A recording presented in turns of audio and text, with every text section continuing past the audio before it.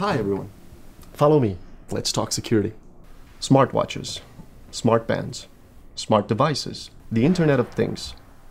What do all of these have in common besides making our lives easier, simpler, better? The answer is security, or in this case, the lack of. We trust these devices with our personal and private information. Everything from text messages, Facebook conversations, even our biometric data gets stored on these devices. But the question is, how safe do they actually broadcast this information between device and actual wearable? In the following proof of concept, we're going to be using a Nexus 4 Android device equipped with Android L Developer Preview and a smartwatch, specifically the LG L.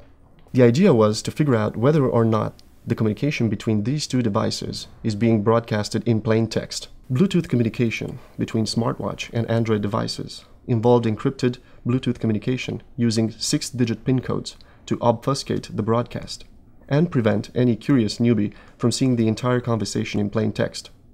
This six digit PIN code can easily be brute forced using available tools.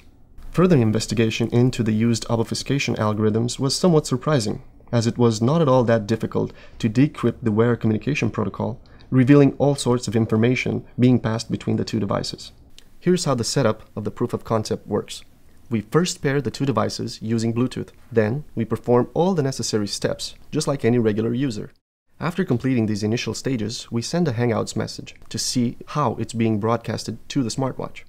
Using any analysis tool, we start analyzing the data, meaning the broadcasted data packets, to see if we can find the Hangout text message in plain text. To our surprise, the answer is yes. It is possible to intercept the communication between Android device and smartwatch in plain text. We're pretty sure if someone were to do some really in-depth research into how the wear obfuscation actually works, we'd soon end up with some fascinating exploit packs. Weaponizing this is only a matter of how much would someone have to gain from reading your conversations, even in close proximity.